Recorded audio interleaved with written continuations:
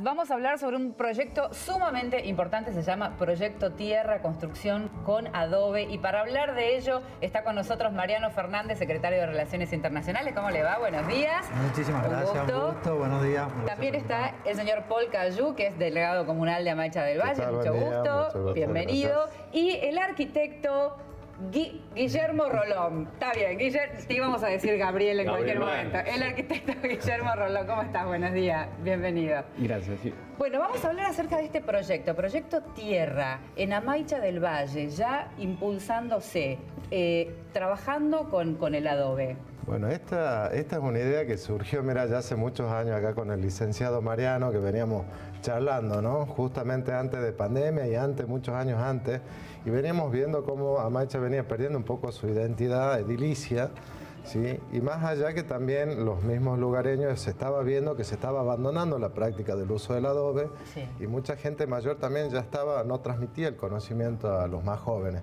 Entonces, bueno, hablando y haciendo un abordaje de este tema, en época de pandemia tocó, hace casi un año prácticamente, arrancamos con el proyecto Tierra, con el laboratorio de tierra. Entonces, bueno, la idea es un poco impulsar esta técnica que obviamente es milenaria, ancestral y que tiene muchas propiedades que después el arquitecto las podrá este, explayar un poquito más, pero la idea era decirle justamente que esto eh, va en pos del ahorro de energía, de por sí sabemos que es un material muy noble, es amigable con el ambiente y hoy en día estamos construyendo un barrio que lo denominamos barrio Pachamama, de 24 viviendas y estamos usando estas técnicas y también gracias a las capacitaciones que se hicieron con todo el trabajo acá del CONICET y de los muchachos y con el apoyo también obviamente de la Secretaría de Relaciones Internacionales.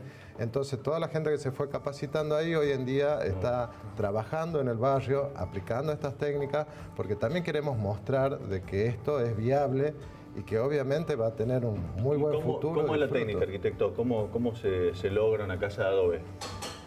Eh, bien, el proceso lleva, es largo, digamos, porque arranca desde, la, desde conocer de dónde se obtener la tierra, de, qué canteras extraerla. Claro, porque no es con cualquier tierra, ¿no?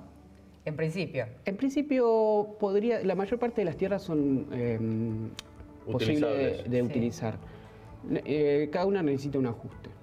Entonces nosotros en las capacitaciones lo que orientamos es cuáles son los criterios que la comunidad usa como ajuste, cuáles son desde la parte científica los aportes que nosotros podemos dar y en ese conjunto, digamos, en la capacitación se, se orienta, digamos, eh, a, lo, más óptimo para, en el caso de Amaicha, las tierras que están disponibles en Amaicha.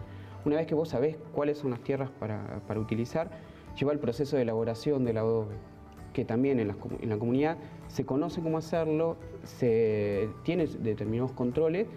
Nosotros acompañamos de, nuevo ¿no? con controles que sabemos que, podemos adicionarle y con eso se hace la eh, etapa de elaboración del mampuesto. Y después viene la etapa de la construcción. Y de nuevo, ahí este, vos tenés la posibilidad de, de construir con, con los conocimientos que existen.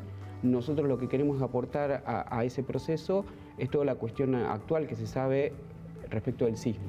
Es decir, que hay un ensamble entre los conocimientos, claro, que tienen eh, los pueblos originarios y lo que ustedes vienen a, brindar. ¿Cómo, se llevan con ese, con ese ensamble de conocimientos? Sí, nosotros le llamamos proceso de vinculación tecnológica. O sea, es un proceso, con ese concepto nosotros trabajamos que, implica que mm, el conocimiento ancestral, el, que existe en la comunidad, no es un conocimiento que esté antagónico con el conocimiento científico. Claro, lo empírico y lo científico, juntos. Claro, entonces ahí nosotros trabajamos para que eso, digamos, trabaje en conjunto. claro. no, hacemos un reemplazo a un conocimiento por otro. Mariano, ¿cuál es el trabajo que hace la Secretaría? Nosotros, bueno, a través de la cooperación internacional hemos buscado los fondos necesarios para poder llevar adelante. La verdad que un viejo anhelo que teníamos, después cabe nombrar también al arquitecto Claudio Bumbacher, que, forma parte de esto y que fue también uno de los precursores, sino el precursor de unir todas las partes un poco. Eh, también participa la Fundación León, este, aportando, y ahora están por dar unos talleres sobre todo en el área social, digamos, en el marco de estas capacitaciones, y van a hacer un taller de género también. Ha eh, aportado también potencial la Fundación Williams, otra parte, otra mitad del financiamiento. Digo, a través de la Secretaría hemos podido ir buscando. Esto es un trabajo de eh, el Estado, eh, representado por la comuna, la secretaría, los centros de investigación, las universidades, las organizaciones de la sociedad civil este, y las empresas trabajando en conjunto en poder del rescate de las técnicas ancestrales, porque en algún momento de construcción en Adobe, que entendemos tienen un montón de ventajas y que también rescatan la, parte arquitectónica y, este, de, de, Amaiche en particular, pero en realidad también ya estamos eh, planificando capacitaciones en Quilmes, en El Bañado, en, otras localidades del valle. Eh, en Pode en algún momento se, asoció al ladrillo al ladrillo que nosotros conocemos, a la tierra cocida, eh, como algo, una señal de progreso y el adobe como algo de pobreza. Entonces la producción del ladrillo, por, lo que, sabemos de los gremios y demás, tiene un proceso milenario que se hace hasta el día de hoy, ¿no? Claro. Se hace pisando el barro y demás. ¿Cómo es el proceso ahora para poder hacerlo a las casas de adobe?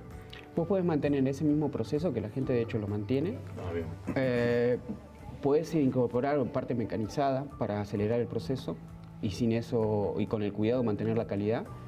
Este, o, por ejemplo, el nivel de desarrollo que ya tiene en mancha esta cuestión es podés comprar el adobe ya en los corralones. Eso es una diferencia bien importante porque en el resto del país no, en general no pasa eso, Entonces, hay tal, tal es la demanda, tal es la, dinámica que hay que están esas posibilidades. Y en, cuanto, y en cuanto a confort y en cuanto a durabilidad, ¿cuáles son los beneficios, por ejemplo, que tiene construir una casa de adobe? Bueno, el primero y el que la comunidad siempre rescata es la cuestión térmica. Y es verdad, es un material que retarda, digamos, eh, la transmisión del calor, entonces eh, durante el día en verano va a estar fresco, el adobe va a captar esa energía solar y después a la noche lo va liberando, porque tiene ese proceso de retardo térmico. Ah, entonces ese es el beneficio que todo el mundo reconoce. Y en invierno eh, pasa al revés, entonces ese proceso también vuelve a ser beneficioso. Lo que vos decías, Paul, de, ahorrar energía. sí, bueno, el ahorrar energía y justamente también lo que hablábamos de la transferencia, ¿no? Tanto de los saberes ancestrales como ahora con tecnología, porque bueno, vuelvo a tocar el tema del barrio porque nos tocó donde le decíamos a la gente de Buenos Aires vamos a construir las casas de adobe y por ahí había cierta reticencia, mm. como decir, no porque, bueno, no están acostumbrados a eso, entonces necesitábamos esta base científica en la cual venimos ya trabajando hace rato para decir, sí van las casas de adobe y sí tienen estas ventajas y no tan solo acá para el Valle, Calchaquí, sino también queremos expandernos a todo el noroeste argentino porque, a ver, uno estuvo recopilando muchos datos Sí, por ahí te das que ya hay algunos estudios, pero no está todo centrado, concentrado para poder fundamentar eh, la construcción. ¿Y cómo responde la comunidad ante, ante esta iniciativa? Mira, lo tomaron muy bien, tenemos más de 70 personas que están trabajando en el barrio y están viendo que justamente que da resultado y yo sé que eso va a tener un impacto a futuro, no tan solo ahora 10, 20 años, sino que se va a retomar estas prácticas en la marcha que ya estaban bastante abandonadas y sobre todo técnicas nuevas que también que están implementando el reboque en tierra. Mm. ¿sí? Porque por ahí este, se hacían reboques eh, de cemento, de materiales y se desprendían. Entonces ahora hicimos algunas pruebas hace un par de años en la biblioteca, también unos murales que quedan espectaculares y que ya vemos, no sé cuánto pasó, que ya como cuatro años y todavía siguen intactos. Sí, más o menos, porque fue al inicio del proceso eso. Entonces, hay muchas, muchas técnicas que vamos implementando, vamos haciendo y creo que va a dejar un muy, buen antecedente. no son solo el adobe, digamos, es lo que estaba diciendo. El adobe es lo que nosotros más conocemos, pero hay un montón de técnicas de construcción en tierra cruda, para ser así más específico, que, tiene, que se están rescatando y que se están complementando esos saberes, que es lo que hablábamos acá, de complementar los saberes entre los ancestrales y, las cuestiones que tienen que ver con el centro de investigación, la ciencia investigando, este, que se complementan y potencian todo un proyecto y que también ahora lo estamos potenciando, más allá de que ha habido una capacitación y que esa gente que se ha capacitado ha tomado un trabajo directamente para construir este barrio que se va a construir en adobe, que no va a ser una cuadrícula española, que va a ah, respetar un montón de cosas y que se ha logrado poner en, el ministerio, que el Ministerio de Hábitat y Vivienda de la Nación acepte que se pueda construir en los materiales locales, esa, ese frasecita, esos dos renglones, lo hacen todo porque marca para adelante la posibilidad de tener, porque antes no te permitía por, cuestiones de falta de investigación, sí, falta de conocimiento. también, tiene, tiene que ver con, esto también.